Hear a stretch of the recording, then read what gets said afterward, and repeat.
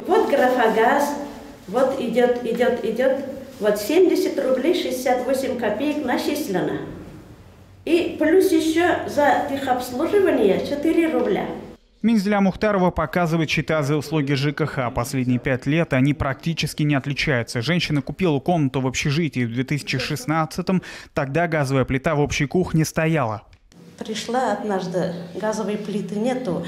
И вот заглушки стоят, а плату берут, начисление идет уже 4 года, пятый год.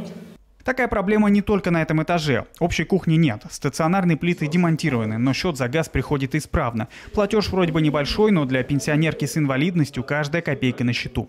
70-80 рублей в месяц. В год набегает примерно 900 рублей. Такие деньги приходится платить пенсионерке за то, чего по сути нет. И такая ситуация длится последние пять лет.